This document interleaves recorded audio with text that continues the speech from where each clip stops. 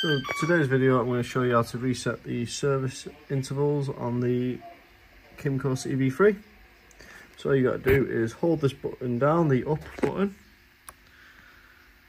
While you've got that held down, press the on button. Comes up, reset items, click down. It brings the menu up of what's due. Um, obviously just reset what you've done so we've done the engine oil filter. I have just done the engine oil um, at first, but I'm showing you the rest of it. So to reset it, all you do is simply click the button, that orange button, and it resets it. Scroll through the menu, anything else you've done. Obviously you've just done the engine oil. Um, we've done the brake fluid. We haven't done the coolant, and we haven't done the drive belt, and we haven't done the air filter, so we're going to keep them on. Um, but yeah, everything else has been done. Hope this is helpful.